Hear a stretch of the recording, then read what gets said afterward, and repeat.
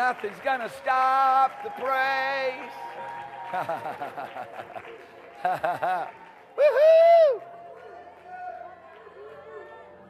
Hallelujah. Lord Jesus, we love you because you first loved us. Lord Jesus, we love. Fill the earth with your praise. Lord Jesus, we love. Let all men see. Let all men see your grace. Hallelujah. Lord Jesus, we love. You have all my affections. You have all my affections, Lord. Give him two. Give him all your affections. Lord Jesus, we love. You're everything to me. You're everything to me. One day, every knee will bow and every tongue confess. Every single human being, every angel, every part of God's creation that was created to worship Him and give Him praise, which simply means created to walk with Him, created to know Him. No matter whether they in heaven or hell, in the earth or under the earth, every single living being will be raised up and will stand before the living God one day, and everyone, the hardest atheist, the most ruthless unbeliever, the most defiant being that's ever lived, their knee will bow before Christ Jesus. They won't bow because there comes some soldier and kicks their legs out from underneath them. They'll bow because His glory and His majesty and His love, and even in the hatefulness of their sin and disobedience, even though that one day they call out and cry, Let the rocks fall upon us and hide us from the face of Him that sits upon the throne. Yet they'll be overwhelmed with that love and that grace and that goodness of God, and they'll say, You are the living God, you are the Lord. They'll bow before Him, but it'll be too late for many. It'll be forever and eternally too late for many. Somebody wants to talk about how black, dark hell is and how fiery it is. I tell you, hell could not be any worse than just to be absent of God's glory and presence. Hell could not be any worse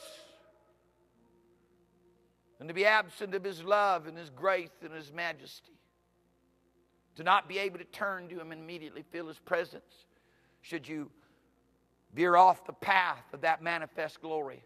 There's anything that has to take place in the midst of the church, there must be a revival in the people of God's life of His manifest glory. For many people have an intellectual knowledge, but you can't take that which you know in your mind and transfer it to your heart.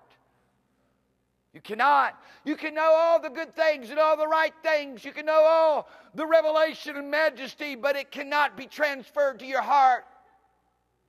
Only God can do that, and when it happens, suddenly a manifest presence of God comes because it's an irresistible pull upon His anointing and glory and grace. It's truth in the inward parts and the hidden parts. There He makes us to know wisdom. It's a pull, it's an irresistible pull upon the presence of God. Too many people try a mental affirmation. They think that it's okay. I know God because I know about Him. I love asking people, Do you know who Christ Jesus is? Because I've watched, even in foreign countries, they'll say, Yeah, I know who Jesus Christ is, but when I get finished defining who He is and declaring who He is, they have to admit, no, I did not know that he did that. No, I did not know that he was like that. No, I did not know that he had that power. No, I did not know he was at work in that way. When I talk about Jesus, who has all authority in heaven and earth, and that he is sovereign power and rules and reigns in a kingdom right now called heaven, that you have the privilege of stepping into simply by making a fee- the feeblest request, simply by crying out with your heart, Oh Lord Jesus, come and help me, with any kind of sincerity and truth. He is so, he made it so simple to step over into that realm, to leave the realms of darkness and blindness of heart and mind and soul behind, to live in the light as He is in the light, to walk around in the realms of heaven and be, as it were, seated with Him as it is in truth. There you begin to live out your life for Him. You become so filled with His compassion, you feel the same way the Father feels about a lost and dying world. You'll give all that you have to see them reached. Not just to hear, but to go and compel them to come in, that his house may be full. Go and compel them. There is a lot of activity, there is a lot of expenditure of energy and finances in, in, in, the midst of the church. But what happens when God's people have been given the ability, with the anointing of the Holy Spirit, to go and compel, like God the Holy Ghost compels men to come? into the house so they can be taught of God, trained up. Hallelujah. I tell you, your life would not be wasted if you spent a month getting one soul. Your life would not be wasted if you just did nothing but track down one soul. Hallelujah. And stay at that one soul, that one soul, that one person. You went to you went to bed at night praying for him. You woke up in the morning praying for him. You continually calling him. You saying, "Come now, go to meeting with me." And then you recognize, okay, Father, I know that if there was a greater increase in my life and the anointing, I would be able to compel in a more powerful and undeniable way. And then there, there's where our fellowship with Him goes to another level as we begin to stand in that place where we ask according to His will. And Whatever we ask He does it. Tonight, we're going to have a great Holy Ghost meeting and talk to you about things that I've heard many people say but I want, to, I want you to receive the grace of God to live it. I want you to receive the grace of God to live it. My goodness, when you begin to understand that without Him you could do nothing, and you begin to live that way, oh my goodness. When all of a sudden you say, Lord, I don't know to turn to the right or to the left, show me. And it's about every detail of your life, and you're asking Him to give you wisdom, to give you knowledge, to give you insight. I'm telling you right now, that is a relationship that will not be denied. That is a relationship that God personally has authorized and designed. And when you begin to become steadfast in those things, they become a reality in your life. 13 years ago, we laid hold on this property. 13 years ago, Pastor Geneva and uh, Amy Scott broke into the place, committed breaking and entry because there was nobody around. It was so hard, so strong in their hearts. 13 years. It is a proof that if you write the vision, if you, it, though the vision tarry, it shall surely come to pass. I mean, I didn't write it. Though the vision tarry, it shall surely come to pass great champion of the faith, one of my dear friends, Rodney said to me, prophesied to me that this property would be ours. He said it 12 years ago. and we did everything we could do to get in and take a hold of it. Well, we understand. We've come to a place in God that if you don't weary in well doing, if you stay at it, you stay at it, you stay at it. Probably called once a year on this place at least, sometimes more. And then in 2008, God made me to know that he was about to do a great thing in the earth. He was about to do some amazing things in 2009. I looked at the place and said, It's too small. Somebody said, What are you talking about? You don't even feel it with the people that you have. What are you talking about? I'm not looking at the people that I have. I'm looking at a faith realm. I'm looking into a realm of things that God has designed and decided to do. That He must pour, he must pour out His fire upon before He can do it. The wind of God must blow upon it before it can be just like it is in, in, in Father's heart. So it can operate like He has designed it to operate, so it can have the results that only He can produce. Hallelujah. Praise God. Hallelujah. Hallelujah. Hallelujah. Hallelujah. Hallelujah. Listen, if you don't weary in well doing, you shall reap. Many people weary. They don't understand Galatians chapter 6, verse 9. You don't weary, you reap it. This is why men ought to always pray. Luke chapter 18, not faint. Look at the widow.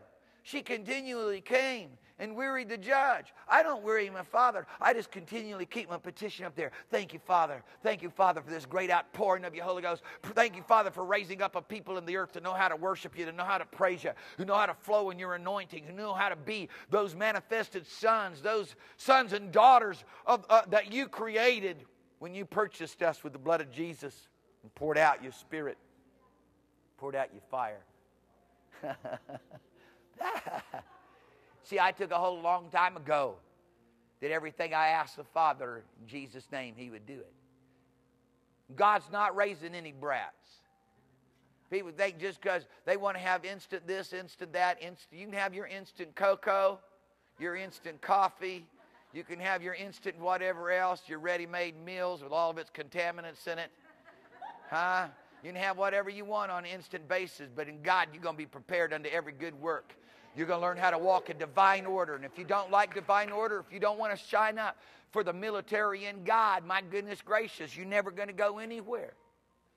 Ha! You won't go anywhere.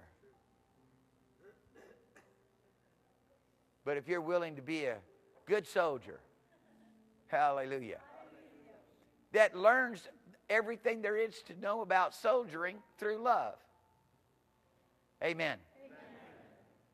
You can be seated. Hallelujah. Thank you, Lord Jesus. You know, there's so many people, they want to do things their way. And then all the time they're saying, well, I'm doing it God's way.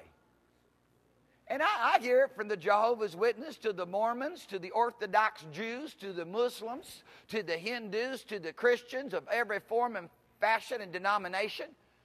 But you know, there's only one word of God that stands forever. There's only one word of God, spirit and life. There's only one word of God by which men will be judged.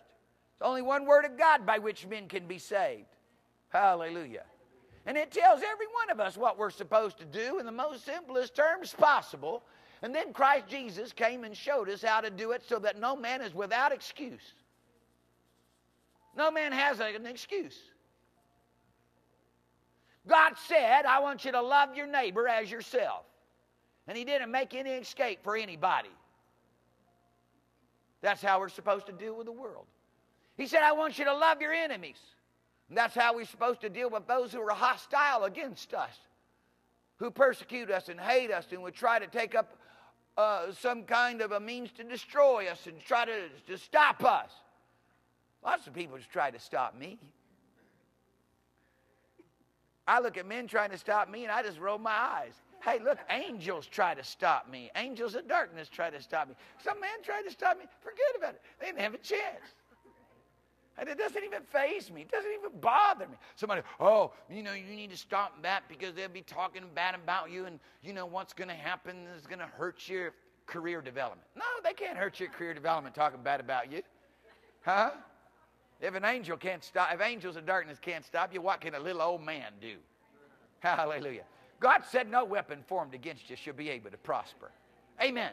You'll rise in judgment and condemn all those who test, try to bring forth a testimony against you. That's what God says. I don't worry about none of that stuff. God wants you to have a bigger, God wants you to have a bigger view of things. And when you're captivated with this love relationship with Him, your enemies, you just got more compassion for their soul than interest in what they're saying about you. Selfish interest doesn't dominate your mind, so you don't retaliate out of that. What happens is God's love dominates your heart and your mind, and it keeps you there in a place of feeling the same way you felt about it before they became cantankerous or argumentative or hateful or whatever. And then, and then, and then, and then God tells us how we're supposed to love one another in the household of faith. And He takes it to another level. And I'm telling you, God's people are going to have to understand you're not going to get those things that Father has purposed for you to have until you obey the foundational and fundamental properties of His Spirit. Listen, people want to have a house before they have the foundation. The foundation's got to be laid for laid first. People want to start exploring the details before the foundation and the plan is consented to. Are you listening to me? He says concerning the household of faith, I want you to love one another is just like just like I love you, just like I love you. Then you have to ask yourself, how is it that Jesus loves me right now? You have to begin to explore your definition of grace. You have to begin to explore your definition of mercy. You got to begin to explore your definition of loving kindness. You got to exp- explore your definition of God's divine empowerment for your life. Huh? You got to explore just how close He is to you. Because then you begin to reckon with how much He loves you. And you begin to behold it in the cross. I love what Paul said in Galatians chapter 6. He said, All these people got all these ideas. They talk about circumcision, uncircumcision. They're going to boast in their flesh or they're going to boast in this thing or that thing. You said, Listen, I don't boast in circumcision or uncircumcision. It doesn't matter to me. All I boast in is the cross of Christ. That's where the new creature came. That's where we've been purchased by the power of the living God. And, and, and, and he says, That's all that matters. Circumcision doesn't matter, uncircumcision doesn't matter but a new creature. What is fundamental about the new creature? It has the capacity to love. He that dwells in love dwells in God. Has the capacity then to begin to understand and relate on the very principle by which we've come to God, how to relate to one another. That principle is Jesus died for us. Amen. Amen. Hallelujah. Praise God. He laid down his life for us. Whew. So, John said, You ought to also lay down your life for the brethren. Amen. And people think that they can escape that. They think they can go do this and that thing, the other thing, and somehow they're not going to be held accountable for it on that day. False. False. You will be held accountable. He'll bring, the hit, he'll bring to light every hidden thing. If you and I would just simply live our lives as God has purposed, that we see Him before us and on our right hand, that we should not be moved, we would always live in the consciousness of His presence being ready to give an account. Come here, baby. Come stand up here with me. There's not much light up here, but you stand down there and stand up here. Oh. Which one do you like better? You showed away. Good morning, precious saints in light. Psalm 90, verse 12 says, So teach us to number our days. Come up here. That we may apply our hearts unto wisdom. Our hearts. For out of the abundance of the heart, the mouth speaks. The heart. One of the greatest wisdoms you will find. Well, before I say that, let me tell you this. The only wise God authored this book. This is the only wisdom you need. That's it. The only wise God knew every single need you would have, every need. He showed us forth in His Word from the time you were born till the time you will exhale your last breath. The greatest wisdom is found in Amos 4:12. Prepare to, to meet, meet your God. God. Prepare. Yes, that's what I'm doing. You college students, you prepare for those finals. If you're going to go do a job interview, you prepare for it. That's nothing.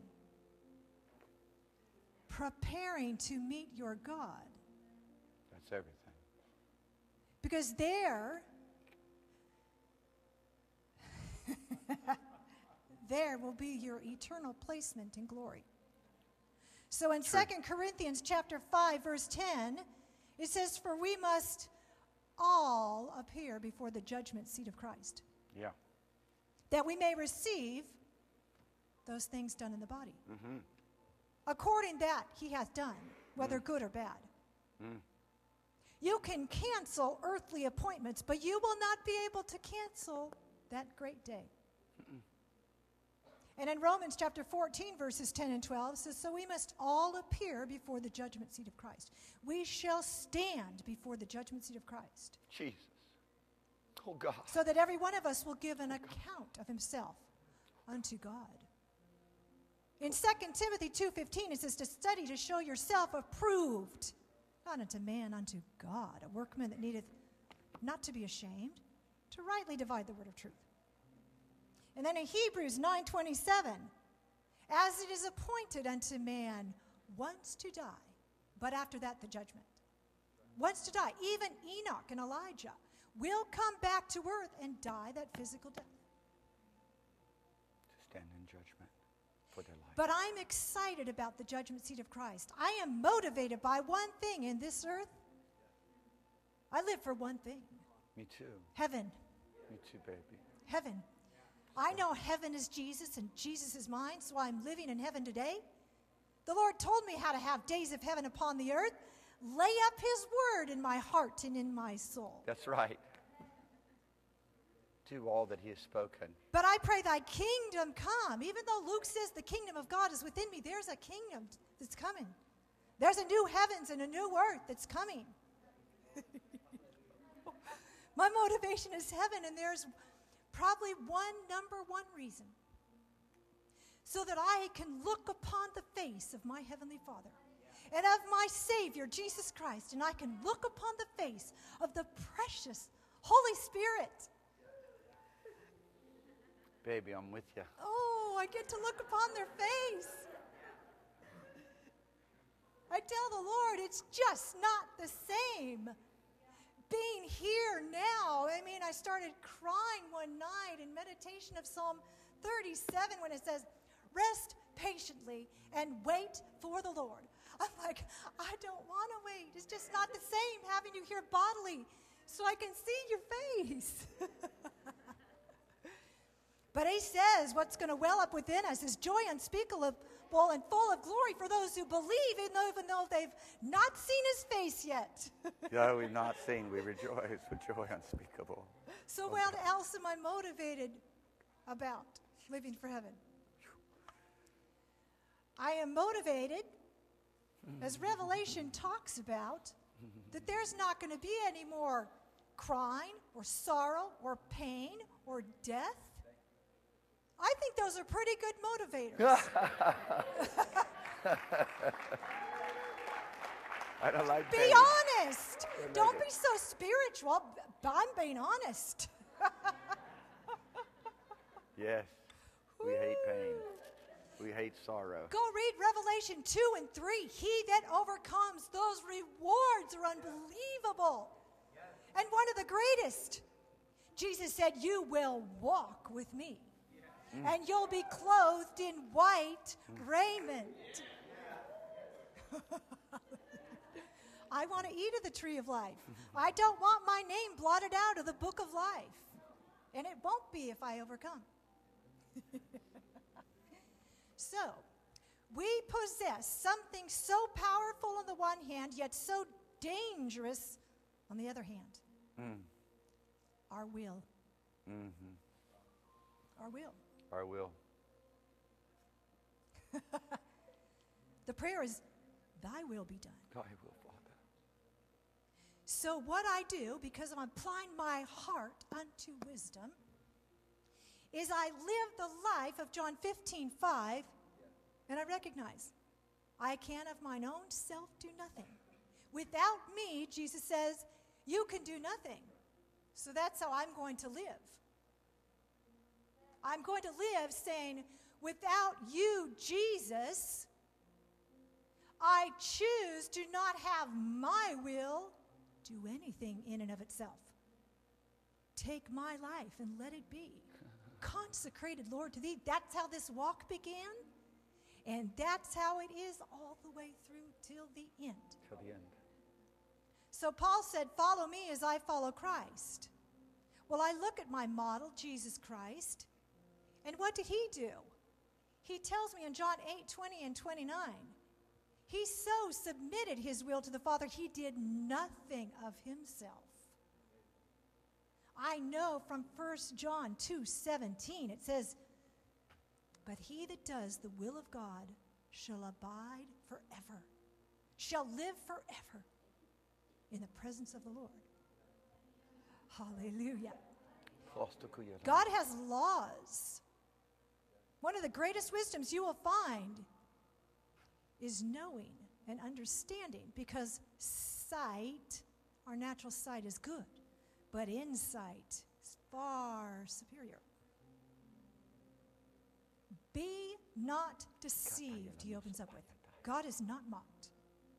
Whatsoever a man soweth, that shall he also reap. If he sows to the flesh, he shall of the flesh reap corruption. I don't even like that word, corruption. It goes hand in hand with destruction.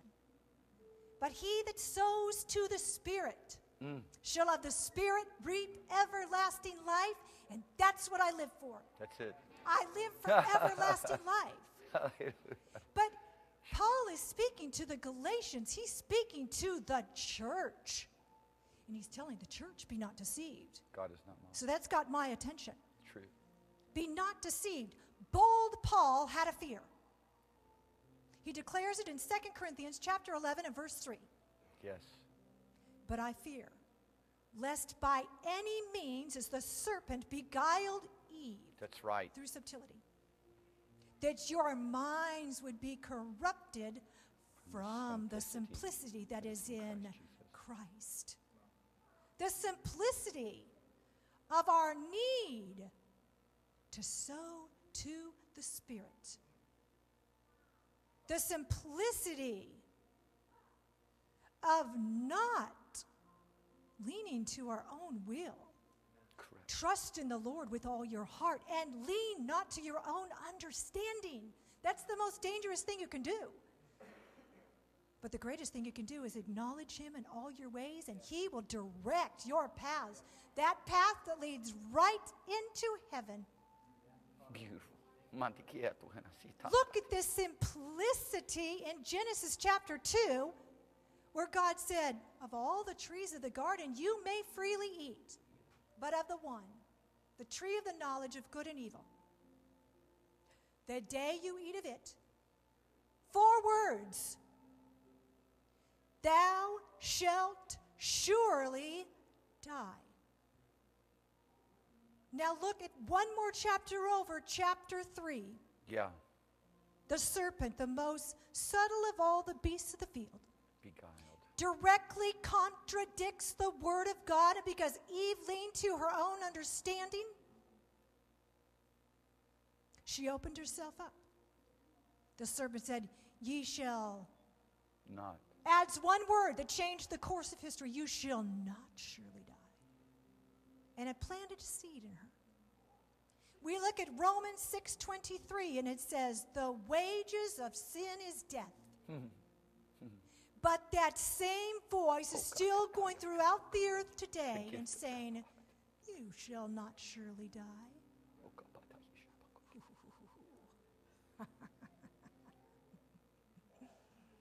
oh, Lord Jesus.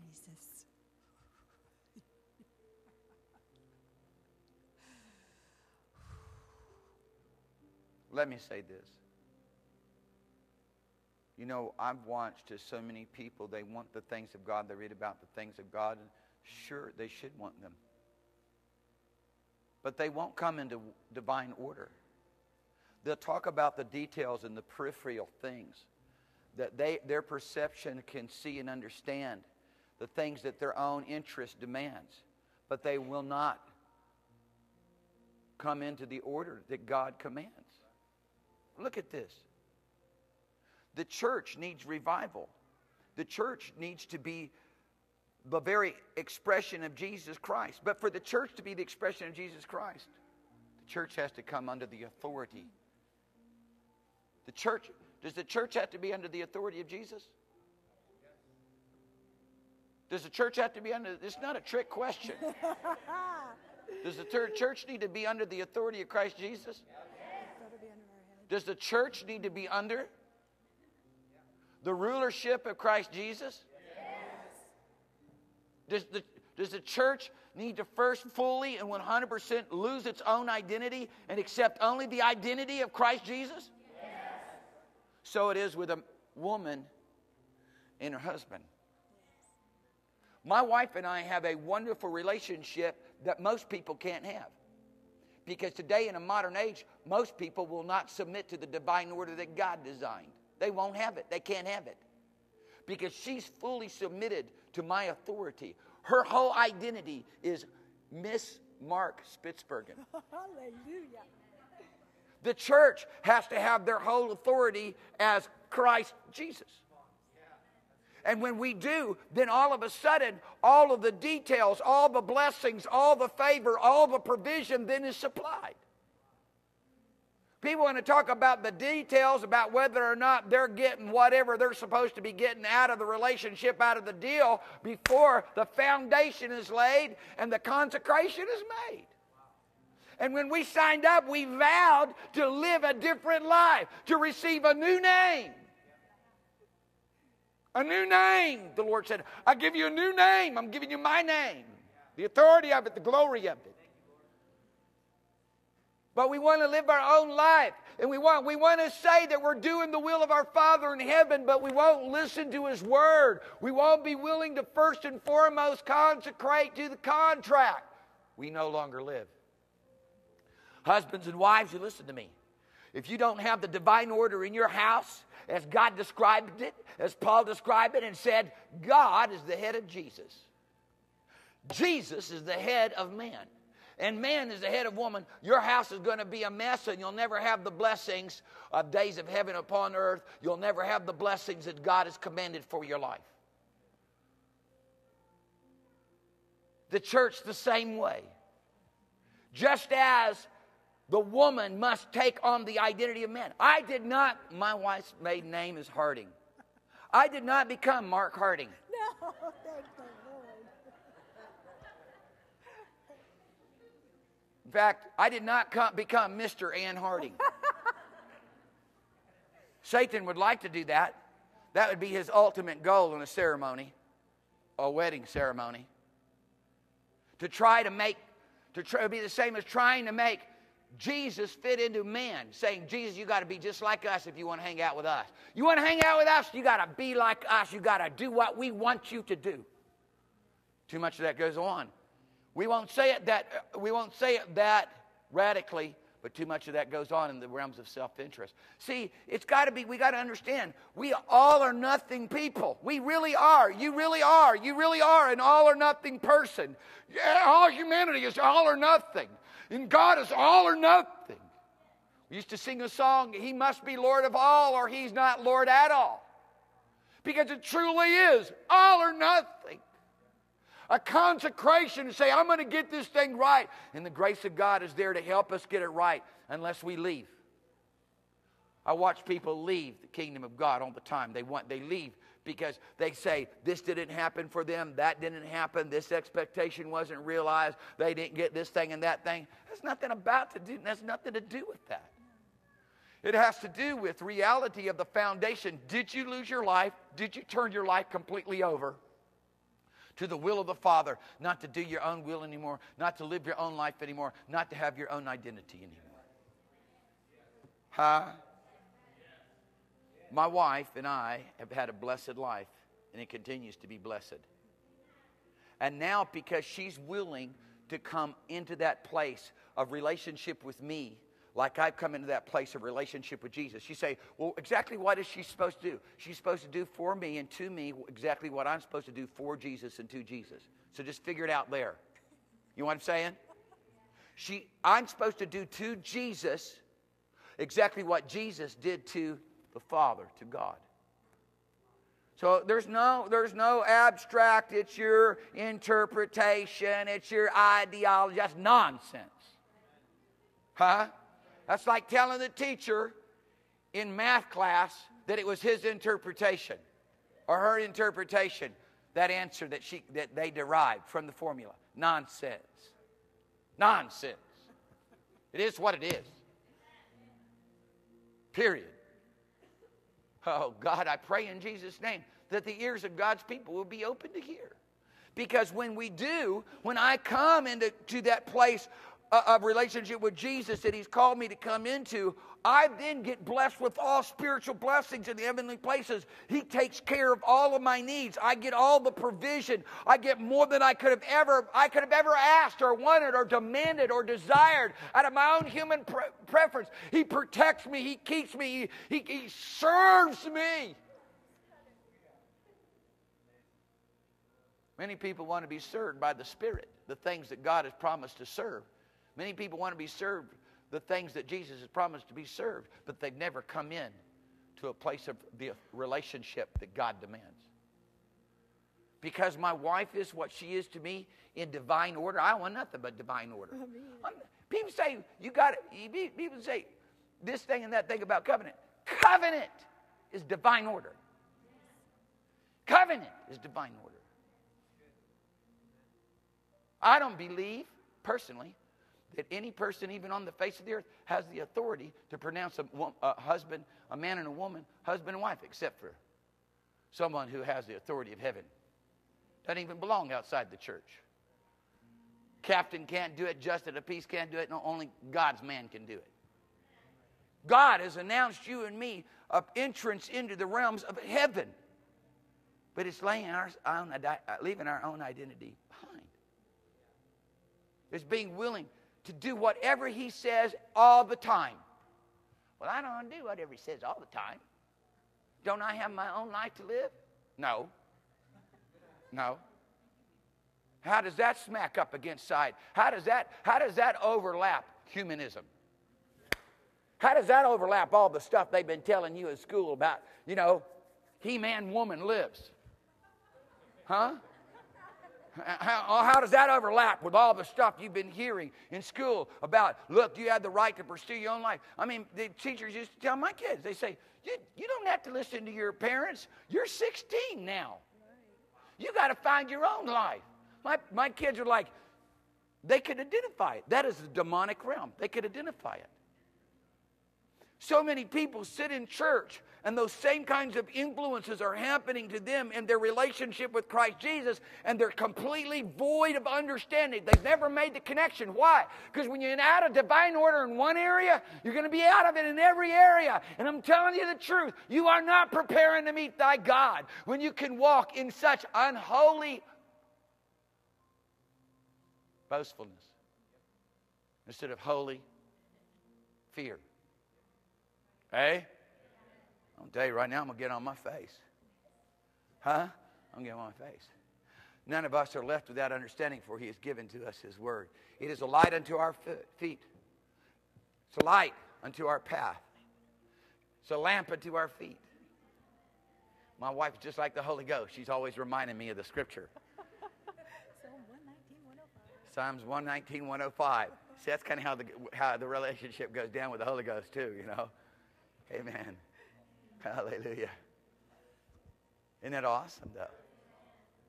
And every step we make outside the Word of God is a step of destruction. It's a step of risk. It's a step of peril. It may be the wrong step. It may be the wrong decision. It may take you down a road that you can't ever get off of. Because deception plays for keeps. And you gamble your soul the risk of your soul. I mean, my wife and I here, my wife and I are here today to represent Jesus and His church. Because this is a mystery, Paul said.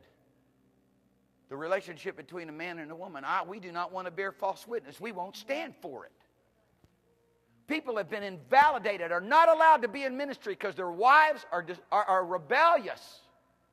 They're full of dissent. The church has not been, in many respects, what God ordained us and created us to be because we're in rebellion, we're in dissent. We want to have it our way. We want to do it our way. When God gave it clearly to us, the instruction in the Word of God, in His, in His Bible, we say, no, it won't fit in the modern 21st century. It won't work now. Wait a minute. Stop. God's in the future, He's not in the past only. The things that God's doing, it'd take us, it'd take us transformation to catch up with. And if we just were able to live out a life, if it was trillion years, we wouldn't be as advanced as He is. Trillion years, we couldn't catch up to what He is. Women, you listen to me. Men, you listen to me.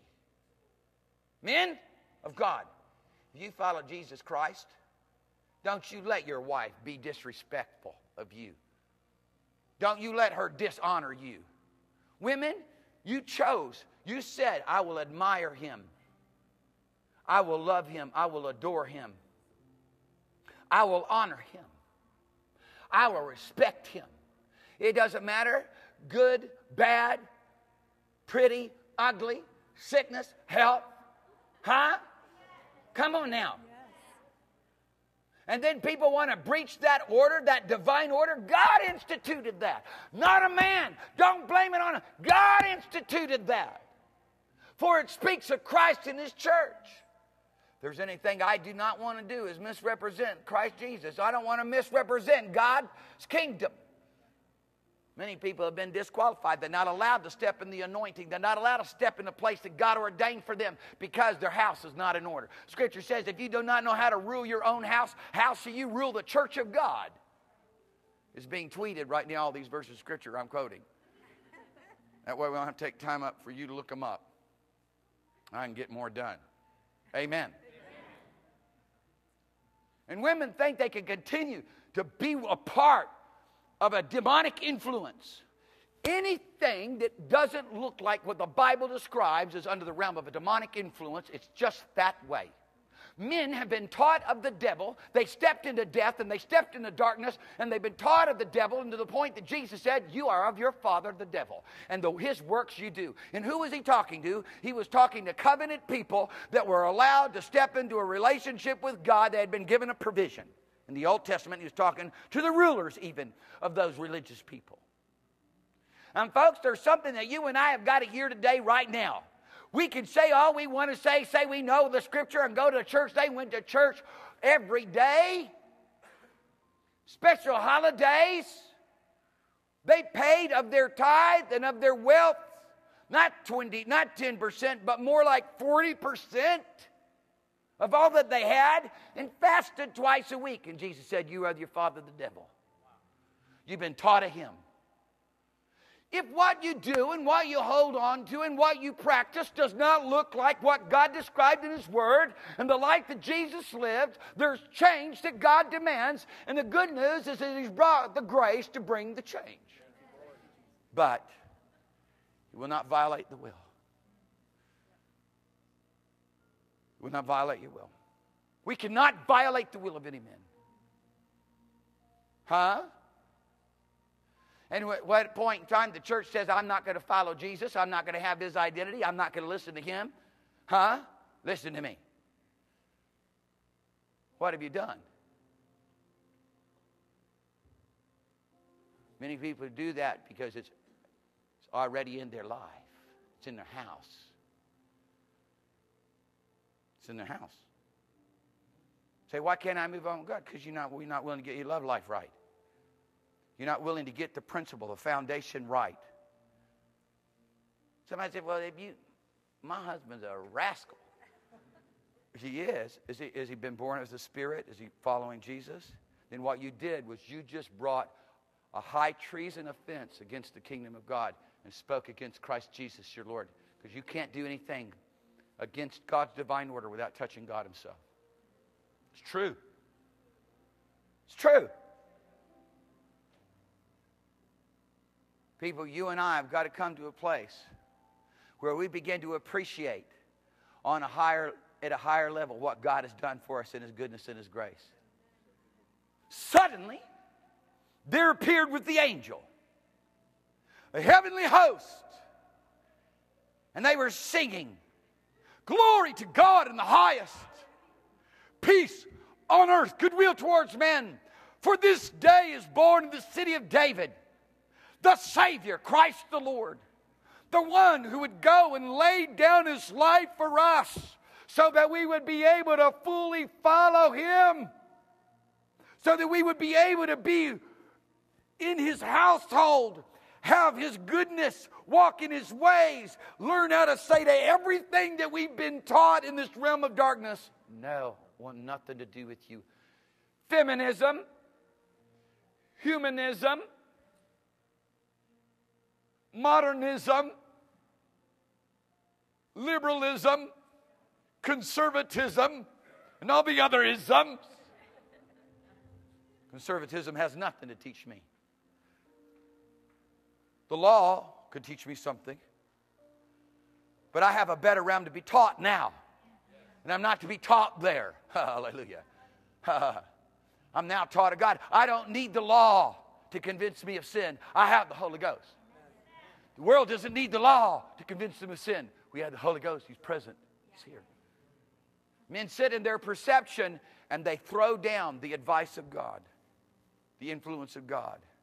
We're caught away with our own interest and throw down and cast down those things that God gently speaks. He just gently speaks them. He says, Do them and live. Huh? He, put, he, he, he petitions us, He beseeches us. And when we become children, if we don't listen, He'll chasten us. Somebody said, God, God isn't going to force your will. No, He's not going to change your will. But you're going to, look, I'm going to tell you right now, He's going to severely try to grab a hold of it and jerk it in line. Huh? Somebody said, Oh, you can't tell me what to do. Well, you're going to have to crawl over top of me to go to hell. Because I'm going to be doing everything I can do to tell you what to do to be right with God. And I'm not going to give it to you out of my own ideas. I'm going to, I'm going to, I'm going to give you the Word of God. I'm going to speak by the Spirit of the living God. See, you know what I believe? You know what I believe? I believe that when you speak, it's not you that speaks, but the Holy Ghost. Because Jesus said that. He said, if I go before magistrates, if I brought into question concerning the faith, before authorities and religious leaders, how much more before people? It's not me that speaks, the Holy Ghost speaking. I've consecrated my life to live under His control. Hallelujah. And He's going to touch every part of my life. He's going to touch the details about the things that I eat. Oh, yeah, He will. He's going to say, There's way too much salt on that because it's destroying your body. He touches, if you listen, huh? He's going to talk to you about the things that you eat. Listen, it's going to cause a disease. You're going to get a gallbladder disease. These greasy pork chops or whatever. he touches every detail of our life. Don't stay up late, get to bed. Because you can't, I'm going to tell you right now, when you get really tired and sleepy, you can't, you aren't able to yield the, and, and respond to the anointing to the Holy Ghost saying. That's why God's interested in your body, physical situation. Unless you flow and function in the anointing and you're ministering, then the Lord refreshes their body because you're running wide open for the kingdom. But you, I mean, you sitting watching TV late tonight, staying out at the movies, huh? Going to the skating rink, what? Climbing a mountain, whatever. Come on, give me a break. The Lord's looking at us all the time. He loves so much. He's saying, when will you stop living for your own interest? A whole world is lost and dying. When will you start living? Stop living for your own interest. And when, when, when, is, when does the love start taking a hold of you? When does the love and the compassion start taking a hold of you? Jesus came to seek and save that which was lost. I'm going to follow him. He came to seek and save that which was lost. And he wasn't a politician, he just told people exactly like it was. Why? Because we're dealing with eternal business here. We're not dealing with some little choices. We're not going to model, we're not going to model, we're not going to stand for models that lead men away from God.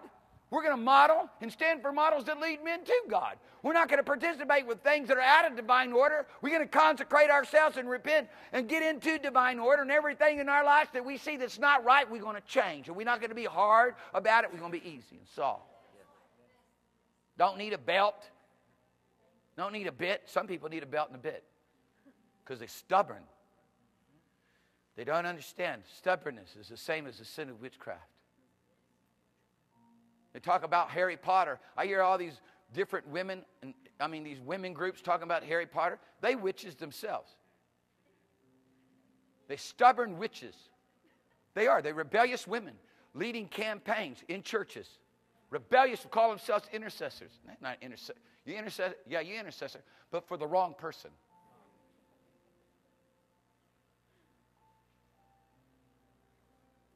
Somebody said, somebody told me, you can't have a big church preaching like that. Yeah, I can. Watch. I'm in a big church. Very big one. I'm a part of a very big church. It's a church which is in heaven. Huh? I'm telling you, I got the remedy, I got the cure if people will obey to why the divorce rate is so high. Listen, the divorce rate is so high is because women have been taught to be rebellious. They rebellious and they won't change. They've been taught to be rebellious. They're going to have it their own way. He, man, woman, world rule. Listen to me. Do it my way. Forget about it. The church doesn't have the blessings of God and the glory of God that's supposed to be seen because we want to have it our way. We want to do it our way. We want to argue. I never seen Jesus argue with the Father. Huh? Listen to this. Listen to this. If I start arguing with Jesus, right? If Jesus and I get an argument, right? Who's arguing? Jesus or me? I'm doing the arguing because he's already said this is where we're going, and he can't argue with himself. You're listening to me. You're listening to me. You're listening to me. Oh, they're arguing. I'm, he's arguing with Jesus. I'm not going to argue with Jesus. He said, just go do this. Here's how we're going to do it. And I'm going to say, yes, sir. So I'm going to pour out my Holy Ghost upon you, and you all going to speak with other tongues, and I'm saying, I'm hungry. Yes, Lord, whatever you want for me. I want you to love those who, I want you to love your enemies, and I want you to bless them that persecute you. I'm not going to argue. Wives, submit to your own husbands. Argument. Well, I'll do it when he does it. Okay, Jesus, I'm going to obey you when you first prove to me that you really love me. When you first give me the word of knowledge, once I get the word of knowledge and I feel your manifest presence, I feel the comfort of the Holy Ghost, then I'm going to obey you. Women, listen to me. Don't do that. Men, don't allow it. Church, don't do that. Leaders, don't allow it. Can you hear me? Yes. I'm lifting up my voice. I'm crying out. You and I are supposed to be enjoying. God's blessed us with all spiritual blessings in the heavenly places. Jesus died at Calvary's cross so that you and I could step into the richest inheritance that could possibly be imagined. He gave us His name so that everything that He has belongs to us. What are we talking about? What are we talking about? Hallelujah. My wife, when my wife and I got married, she had a lot of more stuff than I did. She had a bank account with money in it. I didn't have a bank account, and I didn't have any money. She had an automobile. She had all these things. And she just gave them to me. What a blessing. What, what, that was blessed. I get I come in this relationship with Jesus, he's got everything. I got nothing. Now it's all the way, now it's kind of reversed. Huh? I, get, I inherit all these things from him. But see, the Lord's blessed me now. He, I'm coming back over here. The Lord blessed me so that now she has lots of stuff that the Lord's blessed me with. But none of it means anything to her. Huh? I mean, maybe this huge, gigantic diamond ring means something to her.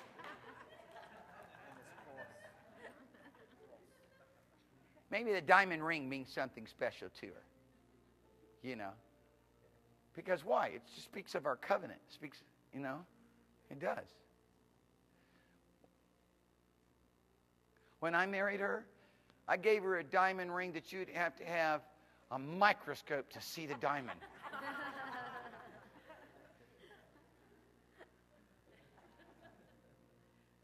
when I married Jesus, He gave me life. He gave me an abundant life. Abundant life is a, is Jesus trying to tell us a word that doesn't have a, you don't have a word for in the human language? He gave me all the riches of heaven, everything that He has. He gave it to me. Just freely gave it to give us these things. Now you want to walk in them, you want to have them, you want to live, live in them, you've got to come into the terms of the covenant. He's really given us a much better life than we could have ever had for ourselves. He's given us a much better life than we could have ever designed for ourselves, ever, if we got trillion years to live. He's given us joy unspeakable and full of glory, peace that passes understanding. He's given us the ability to rule and reign with Him, to walk around in the inheritance of all spiritual blessings, to be blessed in, our, in an area of our finances, to be blessed in the area of health, to be blessed spiritually, to have an increase in the anointing to where we can walk in divine health, where we can lay hands on people who are tormented and sick and diseased and see them set free and delivered. Praise God. It just goes on and on and on. The inheritance that God has given to us, better than all the inheritance that the Israelites had with houses and lands and, and, and, flocks by the thousands. He's given to us all the riches of His grace. Hallelujah.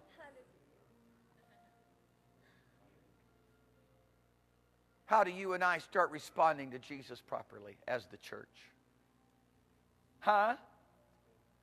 What is it that we believe that He expects of us? And that He has a right to expect of us? Because there's, there's I'm telling you, every model is important to look at it. Huh? Listen to me.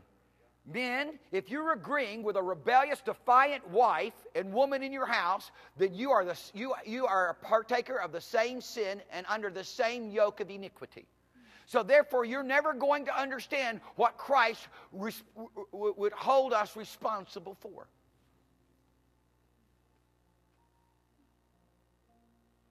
Because you deceived. You deceived.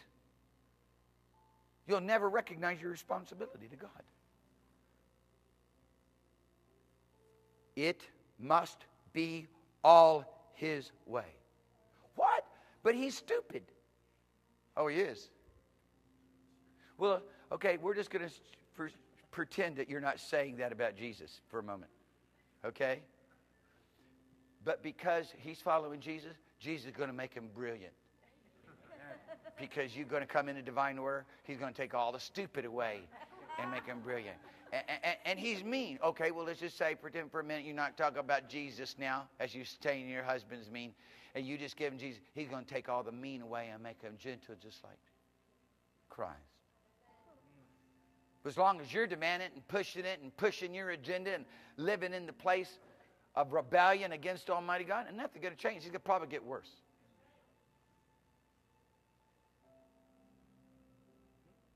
Listen to me now. See, what happens is all of a sudden the Lord brings it down and He lays it out there. And many people look at it and go, I d- I don't want that kind of salvation. I just want the salvation where I don't have to go to hell. I don't want the salvation where I've got to obey it and do it all His way. Huh? Uh, I don't want the marriage where I've got to do everything my husband says. I just want the marriage so I can have the other benefits.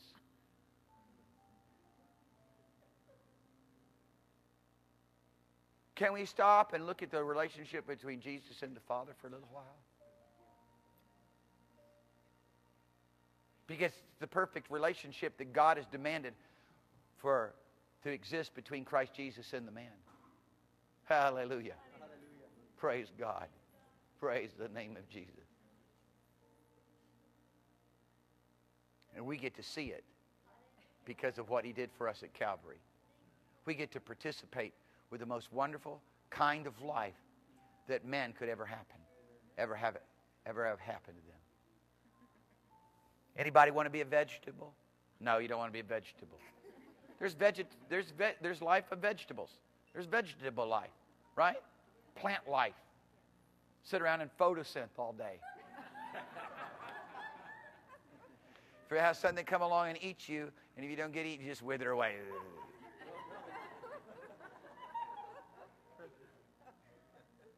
And if there is, if there is any, if there's any cell phones around, that's probably going to, or Wi-Fi around, that's probably going to shut down your life cycle too. then there's animal life. Anybody want to be a dog? A duck? I could do insect life, invertebrate. Anybody want to be an invertebrate? Echinodermus purpuralis all day long. It's a sea urchin. Invertebrate life. I don't mean invertebrate life. Animal life. Duck. Your whole, er, you know, chicken. Your whole, your whole venture of the day is to find a juicy worm or a bug of some sort. I mean, come on, think about this. Animal life. Human life. Human life is pretty nice, but it's just as bad as vegetable life in many respects. Probably vegetables have it better off.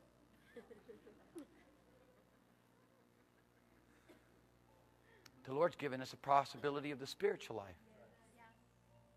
And spiritual life is far better than human life. It's far better and can't even be compared if we were to say, let's talk about plant life versus human life. And the differential between that. God's called us into the spiritual life, His life, the life where that darkness and that sin and that death and that sorrow and that everything that belongs to the laws of Satan no longer govern us. But we have a choice. Because self interest says, I want it my way. What is your way? Well, I'm not really sure right now, but this is what I want. But what you want's going to end in destruction. Ah, that's your opinion. Well, just watch. If everybody had time enough, if everybody had time enough, if man had time enough, they would come to realize that God is, exists and that everything that He says is true. But you don't have that much time. You don't have that much time. You don't have that much time. Christ Jesus came on the scene. The incarnate Word came, revealed Himself, made known His glory. Somebody said, just talk to me about the words. Don't talk to me about the responsibility. No, I'm going to talk to you about the responsibility. We're going to shine a floodlight upon your life and say, Are you living right? Are you doing it right? And maybe you're not, but where's your heart? Do you want to do it right? Do you want to live it right? Look, that's what's most important. So we're going to have to show you where it's wrong. I was ministering to some, some people the other day, and they were trying to, young lady was saying, help me understand boundaries. All these guys pursuing me. And I'm telling her about just godly principles. And she's going, wow, whoa, this is amazing. Really? This is the way it's supposed to be? Yeah. You know what was going on in her heart? I'm just hungry to know God because what I was doing was I was putting a big X. I said, look, she said, I mean, people want to know, can you French kiss when you first meet somebody? Is it appropriate? When should we start dating? Because that's what society is, has declared. Look at it. Daniel was reading to me last night uh, off of the different news things coming on the iPhone. Pornography targets 8 to 17 year old kids. And they have special marketing plans which they target them with keywords on Google and other Yahoo and other means that they use. Our world is inundated with the powers of darkness.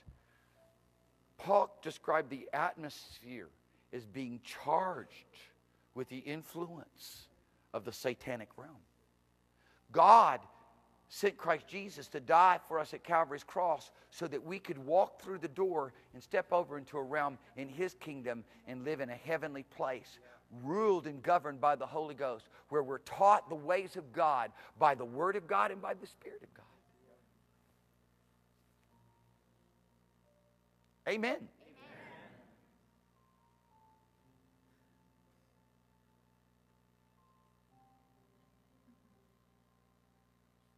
Thank you, Lord Jesus.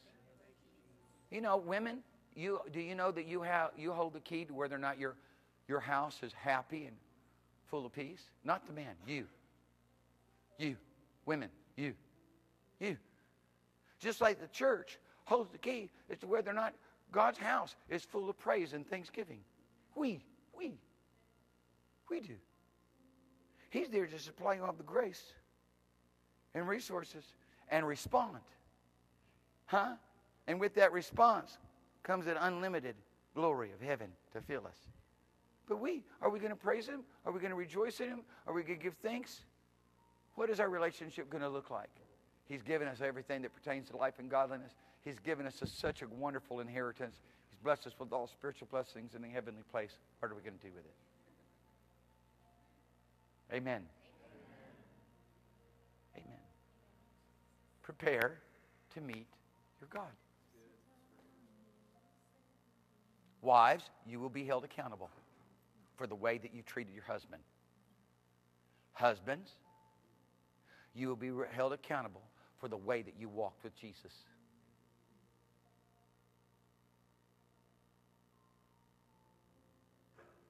And you also be held accountable for the way you treat your wife when your wife is walking in divine authority. When she's, when she's being the woman that's submitted to you and obeying you and reverencing you, yeah, you're going to be held accountable. If you, if you come back at that wrongly. But good, good news is God will chasten you. Huh? He chastens his son, he'll correct you. And if there's any possibility, possibility to get you right, he'll get you right. Church, same goes for the church. The church will give an account for how we've represented Jesus Christ in this earth, how we right here represent Jesus in this area. And the Lord resourced us with an amazing amount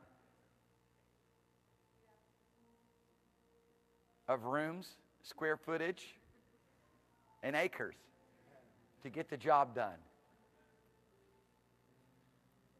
I'm just talking to the saints here today. I mean, I don't see a bunch of people that are lost. If I saw a bunch of people that were lost, I would have just been, I would have stayed with Luke 2 13 through 14. Huh?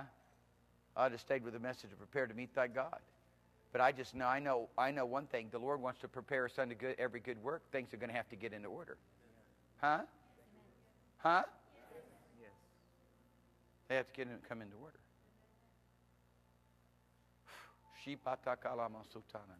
They have to come into order.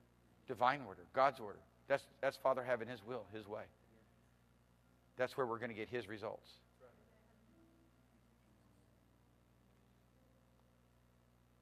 People think they can buck up against the leadership of ministry and be right with God. It can't be. They think that they can, they can touch leadership. They can take, touch a pastor, apostle, evangelist, a prophet, a teacher, and not touch Jesus. Let me give you some good, let me give you a good word of advice. Don't mess with the man of God. Just don't mess with him. Don't matter what he believes, don't matter what he's doing, just don't mess with him. Leave him to God. Don't mess with him. Don't touch him. Because you're going to get messed with. Because Father, his holy things may not be special to you, but they're very special to him. He's, he's very jealous over his holy things. And it's not to say that each one of his people aren't holy. They are. And it's not to say that each one of his people aren't special. They are. And what you do to the least of these, my brother, you do to me. They are. But he's got something, he's got, there are different areas of specialties. There's different areas of authority, different areas, as it were, of sacred. Huh? And accountability. The Lord wants just to bless his people. He wants his he wants everything that belongs to him to flow to us freely. Then we have to have a proper connection with each other and with the authorities in our lives. We're going to have to come back to understanding that God's given us love and the ability to love in every dimension of life. Neighbors, that's everybody you meet. Say, my neighbor, my neighbor is everyone I meet. Everyone I meet. Say, say, prove that to me. Prove that to me. Not a problem. That's what you should always ask. Jesus, giving this same message, said, talked about a Samaritan man. He talked about a man, rather, it was a, more than likely a Jewish man by context, who fell among thieves and he was left wounded and naked stripped of everything that he had. And a priest walked by, and when he saw him, got on the other side of the road. Levi came, did the same thing. Samaritan came, saw him, took him, bound up his wounds, took care of him, right? You know the story that Jesus describing who your neighbor is. The, the person you, whoever you come in contact with, you accountable. That's your neighbor. Love them like you love yourself. Huh? You're not going to leave yourself there wounded, huh? And naked. You're going to take good care of yourself. Hallelujah. Praise God. You're going to have to get into the love. Come on now. Come on. Come on now. I'm building up to something here. How you, how you interact with everybody in the church and what that looks like. You can't strain or try to gag yourself over a gnat and swallow a camel. In, in the scripture, you're not allowed in the Levitical law to eat any manner of blood. So if a gnat flies down your throat, you got to gag yourself. Ah, till the net gets thrown up, right? So Jesus said, You guys are gagging yourself trying to get the net out. Meanwhile, you swallow a whole camel. You eat the camel whole. Why? You're going to talk about these little details and these little issues and these little peripheral matters while the time love is forsaken. Truth is forsaken. Blessed them that persecute you. Anybody got to practice lately? Anybody been practicing? You raise your hand because you get to practice every day. Maybe you just unconscious.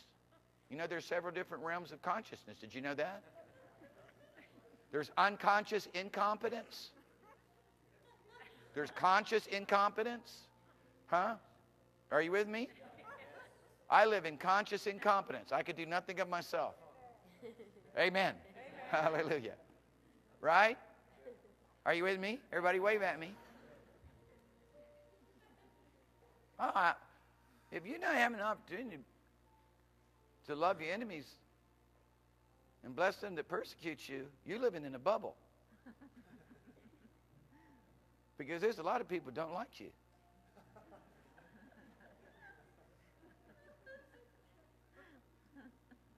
And it might make you feel good to walk around and act like everybody likes you, but I'm telling you right now, it's just simply not the truth. You and I have an opportunity to love them.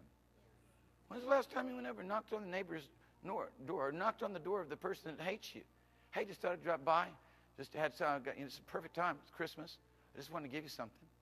Bless you. It's been a long time since we've seen each other. You don't have to say, I know you hate me. Just say,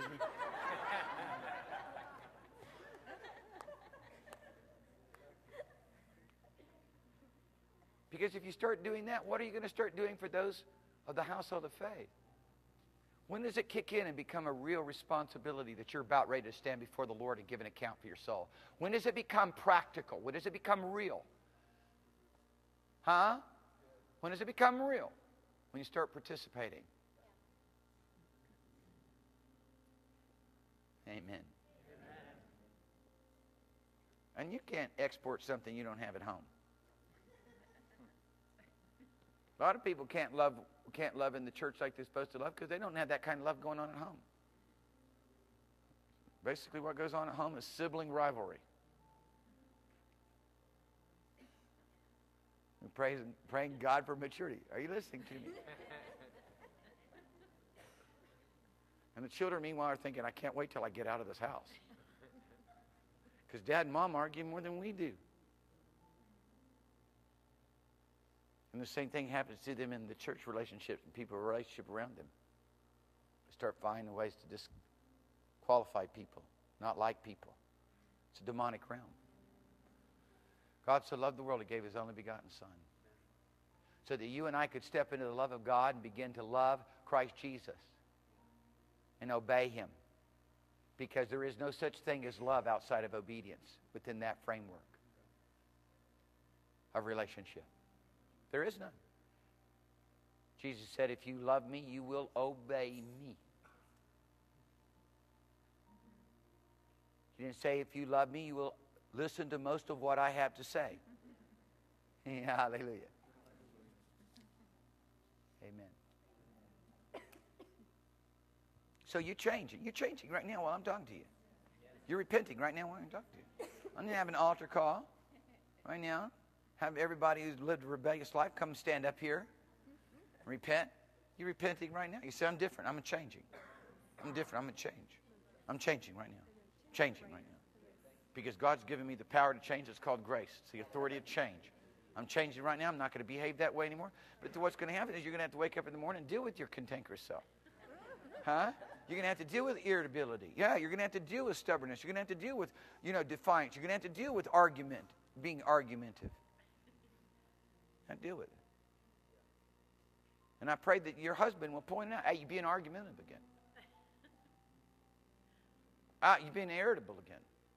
You need to be happy. Oh, don't tell me. Ah, it's picking on me. No, no, somebody needs to tell you. Because it needs to happen there so it can happen in the church. Because one day it's going to happen before the throne room of Christ, before the throne of, of, of Christ Jesus, in the throne room of God. You listen to me now. God did not hold the woman responsible for having things right in her house. He, he held the man responsible.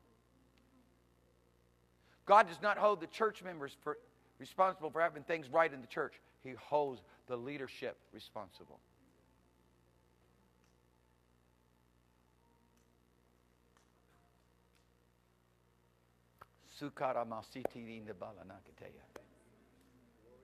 Man says, Well, if I tried to tell my wife that, my goodness gracious, we would, it, uh, we'd have World War III and everything would be over. It'd be a nuclear explosion. There'd be nothing left. Give it a shot. Get on your knees, start fasting and praying. Go ahead, let's just go for change. Um, but let me just say this. I'm going to say this. I'm, I'm closing now. I just want to say this because, once again, it's one of the biggest things that's going on in life today. In, in, in Christian families, Christian homes, and church today.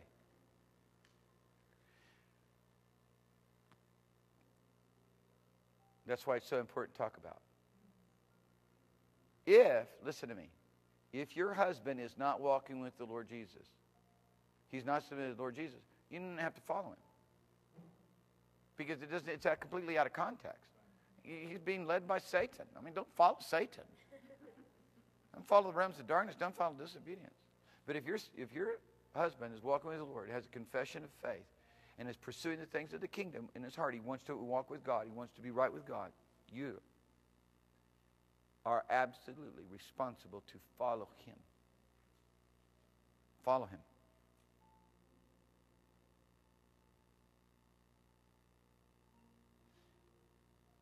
If the leadership of this church is following Jesus,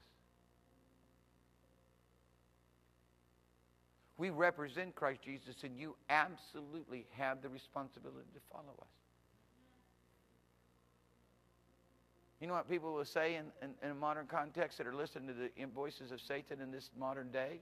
Oh, that's cultic. That is ridiculous. To even come up with such a crazy, to believe such a crazy lie. That we should come under the rule of our leadership and follow our leadership. Because your leadership was given to perfect you, and you're not going to be perfect without submitting to your leadership. It's true. Your leadership has come to build you up. And you're not going to be built up without submitting to your leadership. And it's by your leadership that the supply of everything that heaven has provided through Christ Jesus flows to you. Amen. Amen. So everybody's repented. That's here right now. You've repented, right? You've repented for your rebellion. You've repented for your stubbornness, right? You've consecrated yourself from this day forward. I'm just going to obey. I'm going to walk in humility. I'm going to walk in love. I'm going to walk in meekness. I'm going to treat my neighbors right. I'm going to love them as myself. I'm not going to start screaming and hollering when somebody's blowing the horn behind me going down I 5. I'm not going to enter. Whatever it is that you do, I don't know what all it is you do. Jesus does. Father does. And it's holding you back from the better things God has for you, and it's time to move on. Huh? Because He's got grace plenty, forgiveness plenty. All you got to do is ask for it and give it to you. Repent because you want to walk in a different way. Thank you, Jesus. Thank you, Lord Jesus.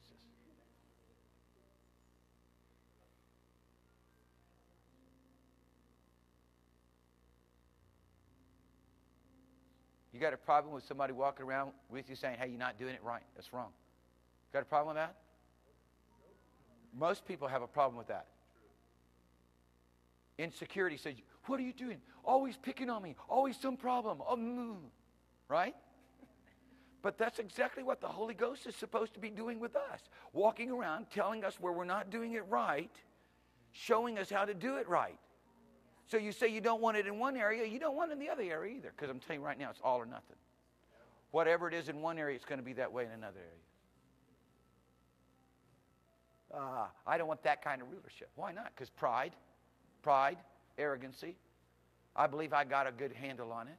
Oh, well, then you've been anointed, anointed cherub.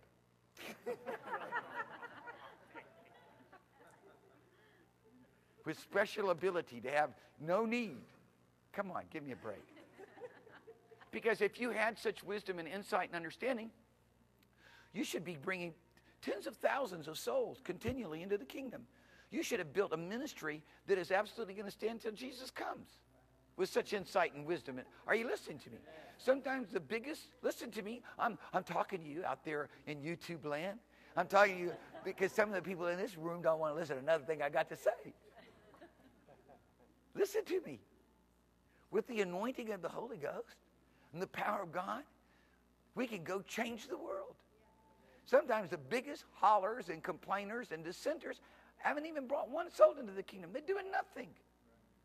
Somebody said, so and so was saying this, that, and the other thing about you. I just said, go ask them what they've done in the kingdom. What are they doing in the kingdom? Besides running everybody down that's doing something in the kingdom. That sounds like Satan to me, man. It sounds like the, that sounds like the last devil I cast out.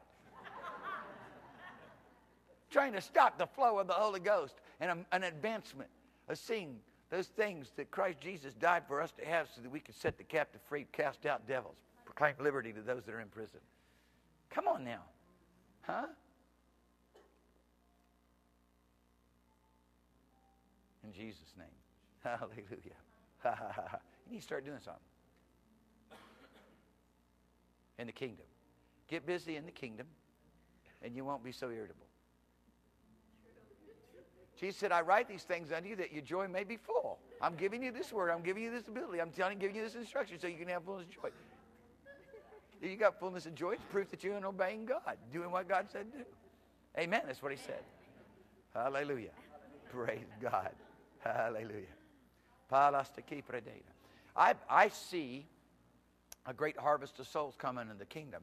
And I see Father laboring to prepare a place within his church to where that they come in, they see a bunch of joyful people. They see some people that, that, that look like that they saints in the light. They look like they've been redeemed. They look like they have joy unspeakable, full of glory. They look like that they interacting with God, that God actually lives in them. Because we go out and propagate this idea that you'll be born again and God will come on the inside of you and walk in you and dwell in you and live in you.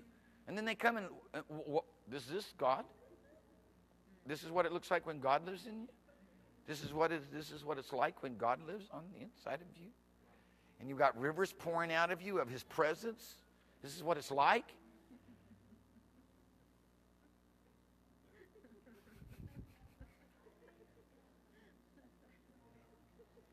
But they come in, they find a bunch of people given over to the living God who really know him, who, who've allowed him to live, who've allowed him to rise up, who do know how to flow and participate in the things of the Spirit.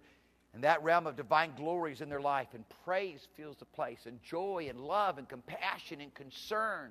And you don't, when, when we say, uh, go find some people to hug, you don't go hug the person that you feel most comfortable with. You're going out and following Jesus, seek and save that which is lost. You're going to the hurting and the dying, the suffering, the people in need. Not living in all this self consciousness, you're captivated by the anointing.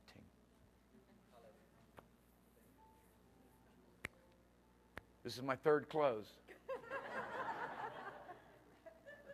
I sent out uh, a list of all of the meetings we're going to have this week School of Evangelism, School of Missions,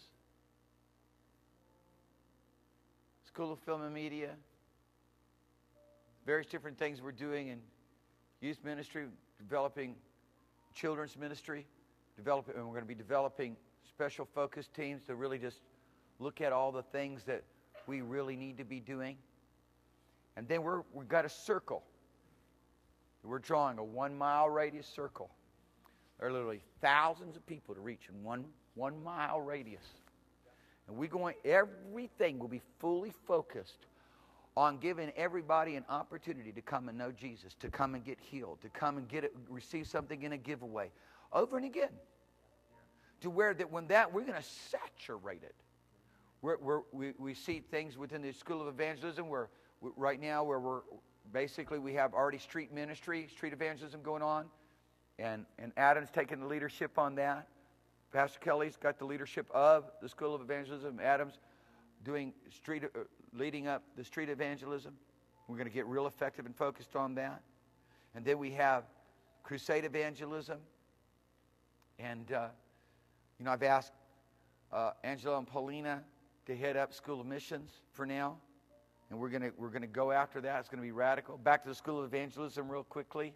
We also got another dimension, which is mercy evangelism, which is for the uh, retirement homes, hospitals, and juvenile hall.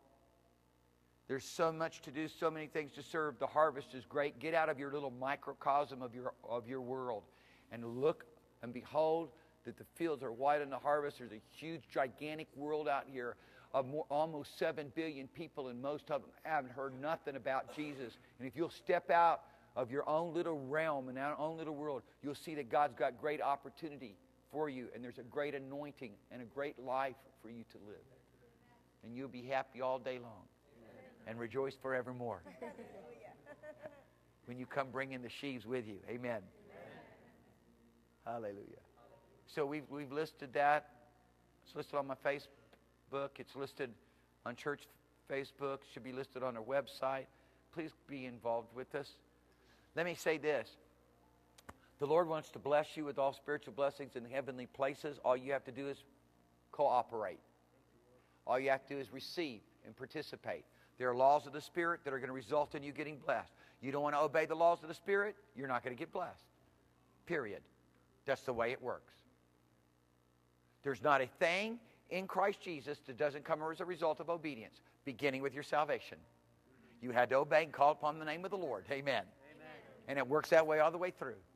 It's about obedience. And the Lord wants to bless us in such a way that we can bless all the nations of the earth.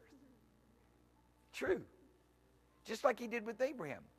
He blessed Abraham so that Abraham could bless all the nations of the earth. And he blessed him in the realms of the material, and he blessed him in the realms of his family.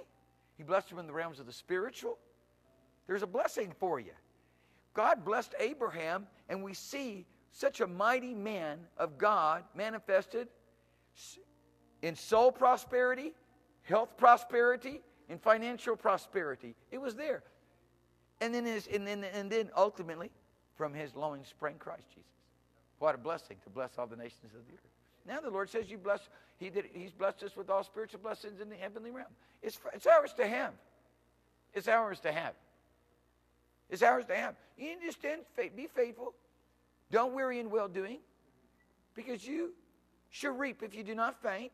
Just, just as we've done with this property, just stand, petitioning, obeying, walking straight, doing what God says. Don't forsake or turn away from the heavenly vision. Pursue those things which God has given you. Watch, watch what will happen. Watch what will take place. Don't get off. Don't get off following your own ideas and following the ideas of men. Follow Jesus. Watch what takes place. Stand with me. The last thing you want to do is say, "Oh, I'm nothing. I can't. I'm no, you know, whatever." You know, having some kind of discouragement, complaining about your state. Don't do that. Worship Him and praise Him. When you feel like complaining, praise. Give thanks. Hallelujah. Because it's all a lie. Because God's blessed you with all spiritual blessings in the heavenly places. The only reason you'd have a right to complain or think you have a right to complain is because it's not coming to you as fast as you'd like. Huh? Are you listening to me? God's faithful to his promise. He cannot lie. Yes. God cannot lie. When Jesus says verily, verily, listen to me. When Jesus says verily, verily, literally it's amen, amen. It is to swear an oath. Amen, amen. You could actually translate it with absolute certainty. Every time you see Jesus swear an oath, he goes, I swear an oath. Every time he says verily, verily, or amen, amen, or absolute, with absolute certainty. I swear an oath. I swear an oath that whatever you ask the Father in my name, he will do it. Hey? What? Yeah, it's true.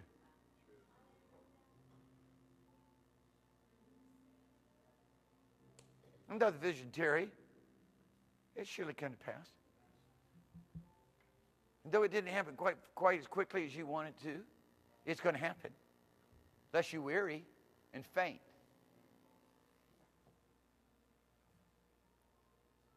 I pronounce on every soul in here. I pronounce on every soul in here that you make heaven. I pronounce on every soul in this place that from this day forward, you're not going to listen to the influences of the spirit of disobedience or be influenced by the God of this world. I pronounce on every soul in this place that you're going to live in the Spirit and walk in the Spirit. For as many as are led by the Holy Ghost, these are the sons of God. That is going to take on a real and a practical dimension for your life.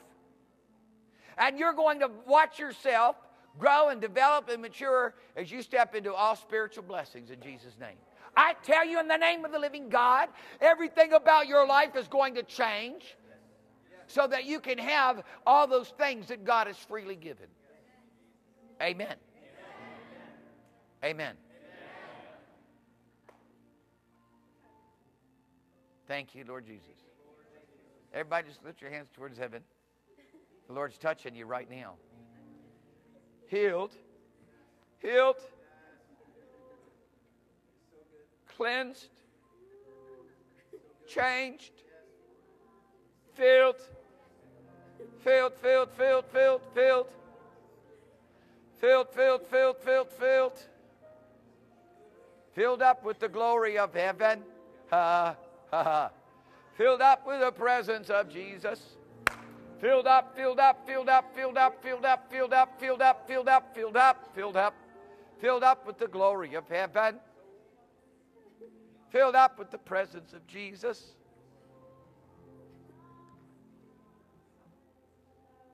Hallelujah. Say, Lord Jesus, I give my life to you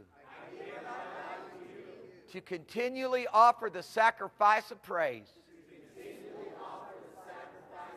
to walk in your love, to be clothed with humility, to be filled with your spirit do your work, Father. Amen. Hallelujah.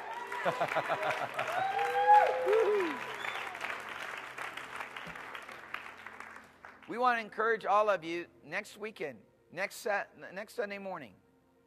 Spend the week focused on the things that you're doing to go bring the lost in. Let's see a great harvest of souls come. Bring them I, we'll just we'll do those things the Holy Ghost gives us to do, and we'll throw the net on the lost instead of trying to just spend the time on Sunday morning building up the saints so that they'll go ahead and go get the lost. Because we built the saints are built up for the work to do the work of the ministry. You perfected so the purpose of you go out there filled up with the compassion of the Holy Ghost to reach the lost. So let's do this. I want you to join with me in prayer and fasting. Join with me in faith, which is the most important thing that we can reach the lost and see a great harvest of souls come in. Just pray with us and believe God with us this week as we begin to take another, uh, a deeper uh, dive into the organization of everything that we're doing. And don't wait, don't wait on us to get you organized. Run, okay? But then we want you to also become organized, be very focused with us as we do these things in God, because the Lord's purpose to give us great fruit. A great revival is taking place, a great moving of God is taking place in the midst of the church. Won't happen in every church. It's going to happen in every church who's hungry for it and wants to cooperate with God. Because what's going to take place is, Father, this is a day of His power. Father's going to bring in a great harvest. And um, I see it taking place tonight the house will be full, and we're going to see people get healed. We're going to see people get touched by the power of God, and we want to see that happen on a scale of the thousands. That's what the Lord has purposed for us to do. And so let's just gather together in faith and prayer and consecration and commitment and watch God do this thing. Yes. Amen. Amen. Amen. Hallelujah. Praise God. Thank you, Lord Jesus. The Lord has purposed for us to have continual miracles going on in our life, and one of the miracles that He wants going on in our life is the miracle provision of finances. Amen. And I know that you need miracle provision of finances because the Lord has purposed that you take care of the, of the orphans, the widows, the poor, the ch- local church, and traveling ministry.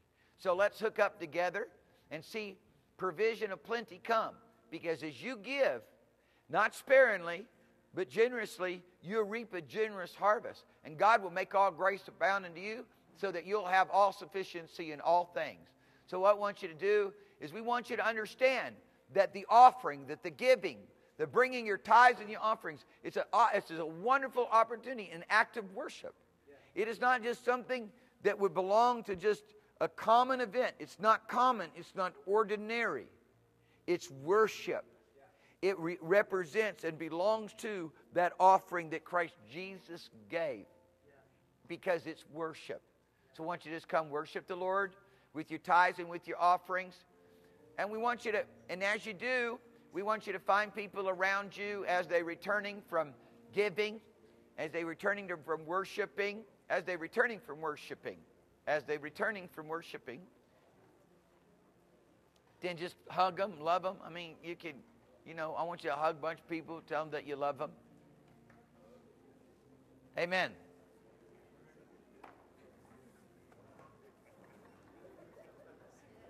And if anyone needs prayer for anything, anybody needs prayer for anything, sickness in your body, not certain that you're right with God, whatever it may be, hurting on the inside, we want you to come. The Lord will touch you. We'll pray for you. The Lord will touch you. He'll heal you. Hallelujah.